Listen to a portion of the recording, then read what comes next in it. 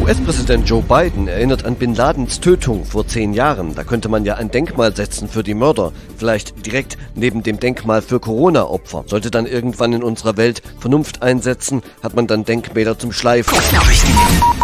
Vernunft in der Welt, wir wollen ja nicht mit dem Schlimmsten rechnen, am 3. Mai 2021, ein Montag. Bleiben wir gleich in den USA. Der US-Außenminister schließt einen militärischen Konflikt mit China aus. Sollten wir noch mal Glück gehabt haben? Es ist zutiefst gegen die Interessen sowohl Chinas als auch der Vereinigten Staaten an diesen Punkt zu gelangen oder auch nur in diese Richtung einzuschlagen, sagte Blinken CBS. Ein Bootsunglück in Kalifornien brachte drei Tote und 27 Verletzte. Nordirland gedenkt seiner Gründung vor 100 Jahren. Proteste gab es in Kolumbien bezüglich einer Steuerreform. Wenige Wochen vor der Präsidentschaftswahl in Syrien hat Staatschef al-Assad eine Generalamnestie erlassen. Die Nachrichtenagentur Sana veröffentlichte ein Dekret. Hunderte Menschen protestieren im Irak gegen hohe Arbeitslosigkeiten.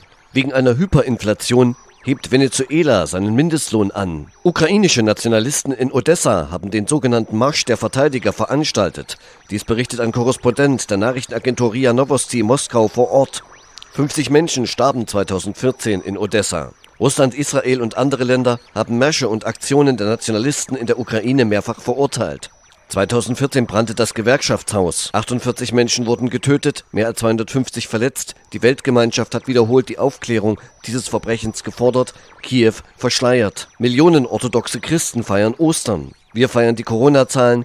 9160 Neuinfektionen, Inzidenz 146.9. Intensivmediziner des Uniklinikums Hamburg-Eppendorf behandeln mehr Schwangere auf der Covid-Station und plädieren dafür, die Frauen zu impfen.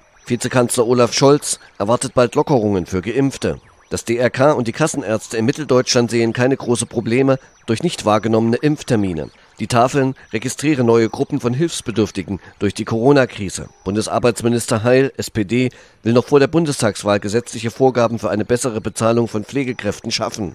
Einzelhändler haben einer Studie zufolge im vergangenen Jahr fast jeden fünften Euro ihres Umsatzes über das Online-Geschäft erwirtschaftet. Bevor der Sturm kommt, noch etwas normales Wetter. Heute im Norden leichter Wind, in der Mitte freundlich, im Süden sonnig. Die nächsten Tage wird es kälter und stürmisch. Es regnet. Zum Wochenende sommerlich. Alternative Music.